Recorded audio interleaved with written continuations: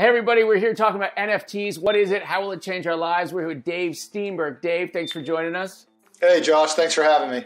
Okay, so tell us, why are we here talking to you about NFTs? Well, I've been a crypto enthusiast for over 10 years. I bought my first Bitcoin back in 2012 for $80. Bought my first Ethereum back in the day for $15. And ever since then, I have climbed down the crypto rabbit hole with great enthusiasm with everything around DeFi to smart contracts to NFTs.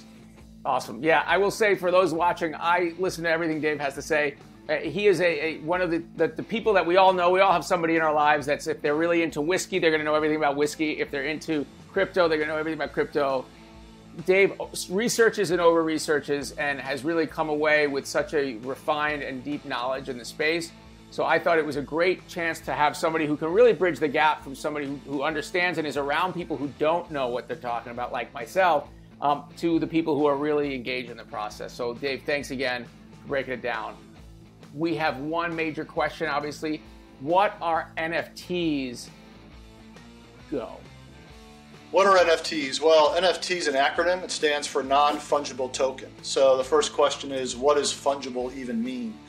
Uh, a way to think about it is fungibility is uniqueness, or on the other end, how generic is something. So let's say the US dollar. The US dollar is completely fungible. A dollar is a dollar is a dollar.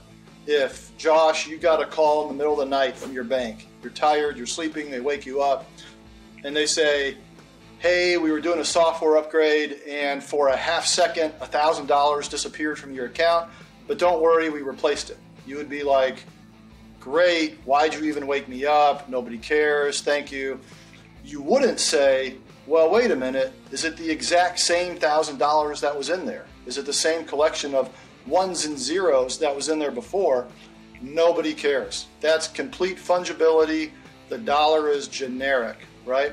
Let's go on the other end non fungible. So, non fungible would mean it's not generic. In fact, it's unique. And to think of an extreme example of something that's utterly unique and un- irreplaceable, let's say you have a love letter from your spouse when you were newlyweds that's handwritten and uh, written the night before your marriage, and your spouse has now passed away, right? If someone were to give you that letter and it was typed out, would that be the same? Absolutely not. If you hired a forger to duplicate your spouse's handwriting and repeat everything on that letter, would that still be the same? No, because it what didn't come from your spouse. It's not unique and it's not imputed with value. So that would be complete non fungibility. It's utterly unique and irreplaceable. So, what does that mean as far as crypto and NFTs? What it means that is our technology through the blockchain, particularly right now Ethereum, has reached a point where we can assign that uniqueness to a digital good, or we can assign it to a digital good tied to a physical good. So now, with a digital item, you can prove uniqueness or at the you know, on another level, at least limited edition availability. Can you give us an example of how people are using NFTs today? Sure. Well, at a very simple level, you have people that are minting JPEGs, very simple, low quality, uh, high granular or low granularity pieces of art, and they're throwing them up on OpenSea and hoping to flip them for some amount of profit. Right?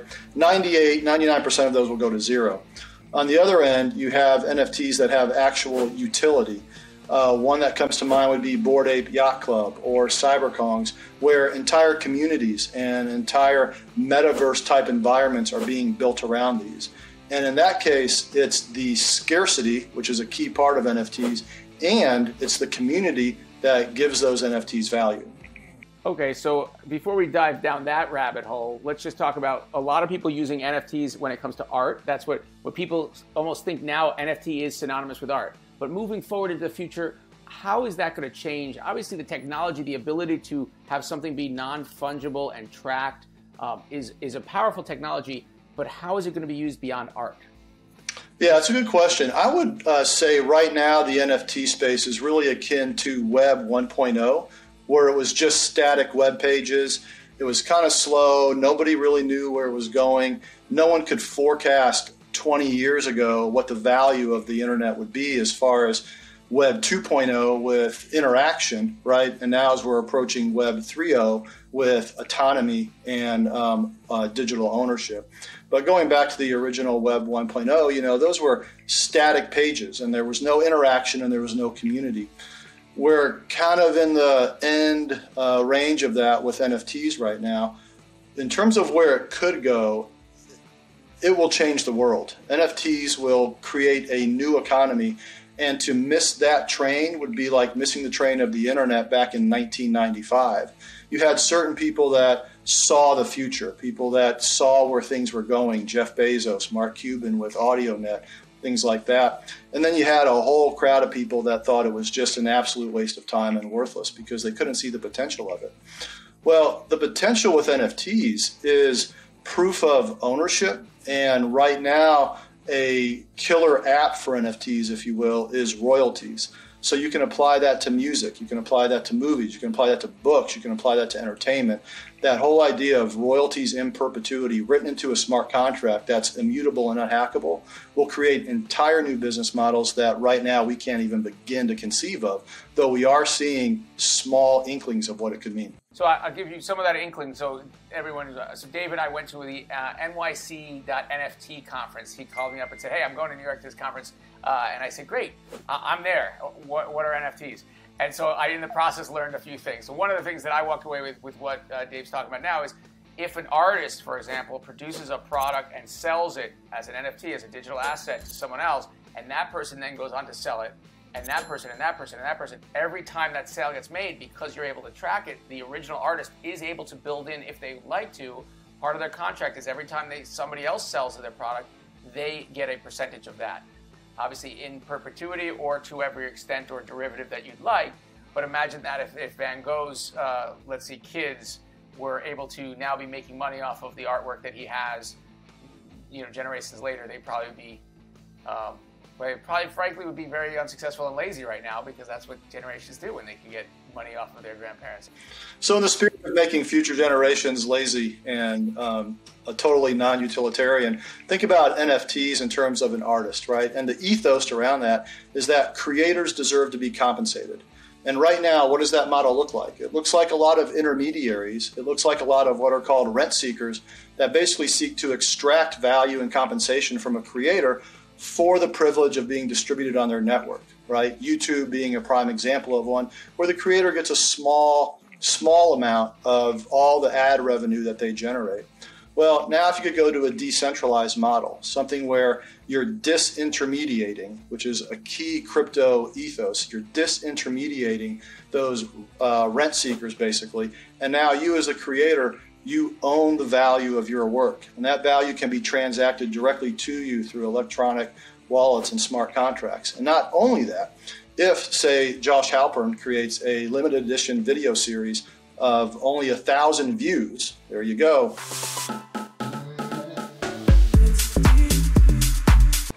And people want to start trading that. You could NFT your video, and people could trade videos of Josh or whoever, and every time it's traded, every time it's bought, you get a royalty of that in perpetuity.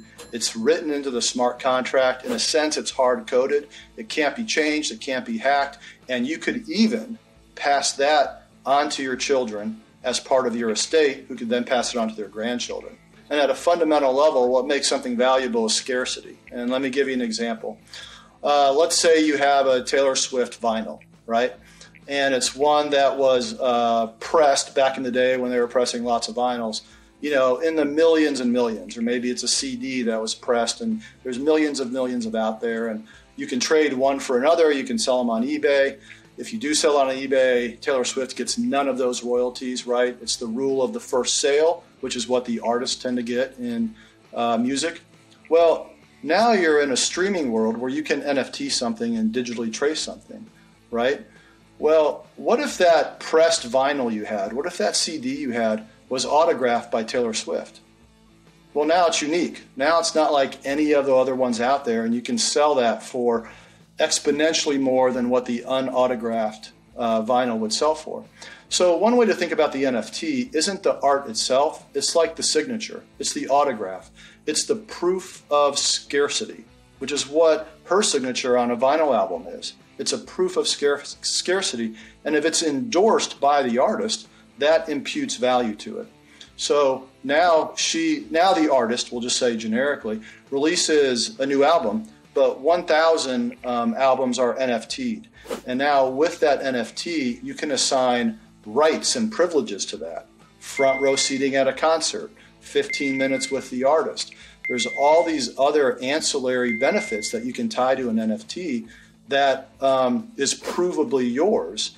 And then you can sell that, and in the act of selling that, the artist gets a royalty 1%, 2%, 10%, whatever they negotiate to the contract, without having to rely on an army of attorneys and auditors and the trust that if their song is played someplace in South Korea on a streaming service, they're actually going to get their check six months later. Now it's automatic, it's instant, it's verifiable, it's traceable, and once again, we've disintermediated all these middle persons that want to take a cut of the artist's revenue. And you can extend that to real estate. You can extend that to book publishing. You can extend that to business models that, again, we haven't even begun to mine uh, the opportunities in. Amazing. Okay, everybody, I think that's enough for today. We're going to digest this. Uh, Dave, again, thanks for helping break some of that down. And we have, I'm sure, more questions coming in, and we'll come back to you soon. Thanks a lot. Great. Thanks, Josh. Thanks, everybody, for watching. Remember, follow us, subscribe so you can learn more about the ever changing landscape of digital trade, e commerce, and now NFT land. Talk to you soon.